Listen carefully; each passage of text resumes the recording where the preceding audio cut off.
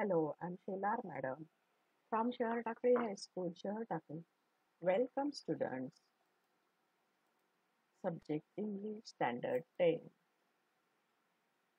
His First Flight, written by Liam O'Flaherty. See, this is the writer of this lesson, Liam O'Flaherty.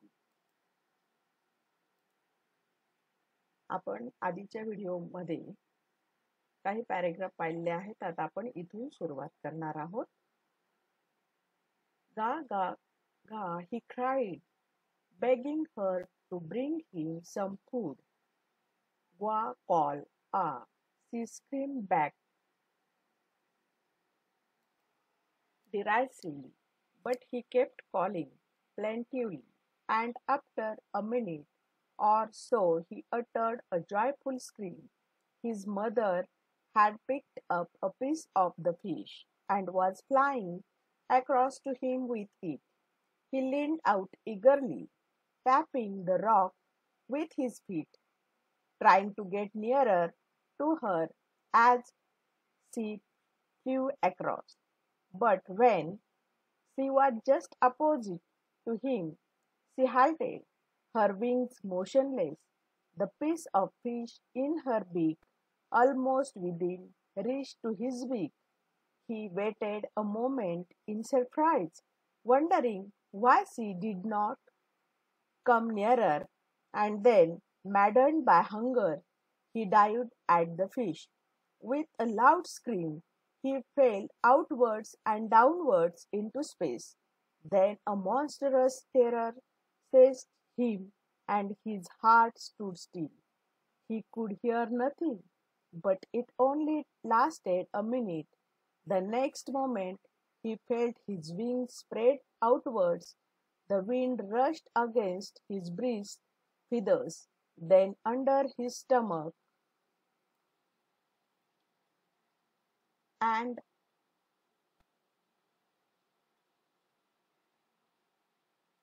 and against his wings.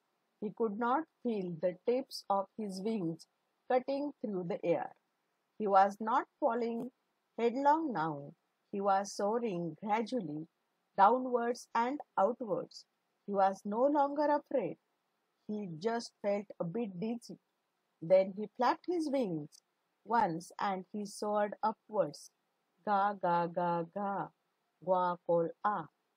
His mother swooped past him, her wings making a loud noise. He answered her with another scream. Then his father flew over him, screaming. He saw his two brothers and his sister flying around him. Curveting and banking and soaring and diving. Let's see the meaning of difficult words derisively in a manner showing someone that she or he is stupid. म्हणजे उपहासाने. Plaintively expressing sorrow. रडवेला होऊन. Guess the meaning of soar. Soar म्हणजे खूप वर उडत जाणे. Madden by hunger. भुकेनं वेडपिसे होणे. Seized. ताबा घेतला. मॉन्स्टरस. Shocking धक्कादायक dizzy means having an uncomfortable feeling of spinning around and losing one's balance चक्कर आल्यासारखं चक्कर आलेला curveting leaping like a horse म्हणजे वळण घेत मारलेली डोलदार झेप त्यानंतर banking flying with one wing higher than the other वळताना एक बाजूवर करून जाणं त्याला म्हटलं जातं banking the young seagull called his mother his mother also replied he saw that his mother took the piece of the fish in her beak and flying to him. The young seagull was very happy. To his surprise, he saw that his mother halted, the piece of the fish was just within in his reach. He was surprised why his mother did not come to him. He was too hungry to wait. He dived at the fish. The next moment, the young seagull fell outwards and downwards into space. There was a monstrous terror in him, but it lasted for a minute. The next moment, the young seagull felt his wings spread outwards. He was soaring. His parents flew over him. His brother and sister were arriving and banking and soaring and diving. He forgot that he could not fly. The young seagull was curveting and soaring सिगलने आईकडं विनवणी केली की त्याला अन्न हवं होतं म्हणून तो अन्नासाठी आईकडे त्याने विनवणी केली. पण आई सुद्धा त्याच्यावर उपहासाने ओरडली. तो परत परत रिक्वेस्ट करत होता. आणि एका मिनिटातच त्याचा त्याला खूप आनंद झाला.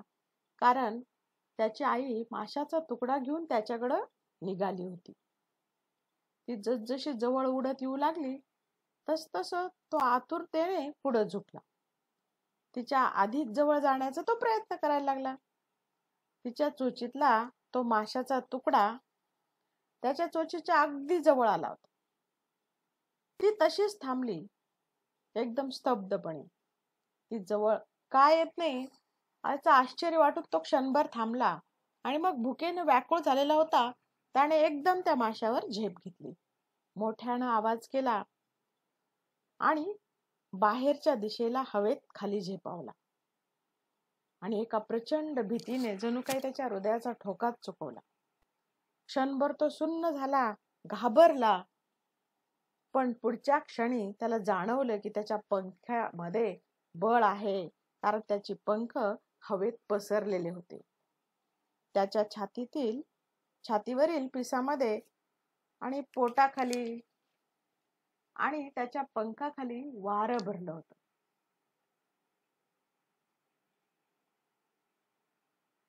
त्याच्या पंखाच्या टोकांना वारा छेद करून जातोय असं त्याला वाटलं. पण तो हळूहळू हवेत तरंगू लागला. आता मात्र त्याला अजिबात भीती वाटत नव्हती. क्षणभर चक्कर आल्यासारखं झालं वाटलं त्याला. मग त्याने पंख फडफडवले आणि मस्त झेप घेतली. आणि पंखांचा फडफडाट करत आई सुद्धा त्याच्याकडे झेपावली. त्याने तसाच आवाज करत तिला प्रतिसाद दिला. त्याचे वडील सुद्धा कलकलाट करत त्याच्या भोवती गोल गोल घिरट्या घालू लागले. त्याचे दोघं भाऊ बहीण ते सुद्धा त्याच्यापाशी आले. आणि त्याच्या त्याच्याजवळ येऊन त्यांनी झेप घेतली. आणि ते मस्तपैकी आकाशामध्ये विहार करू लागले.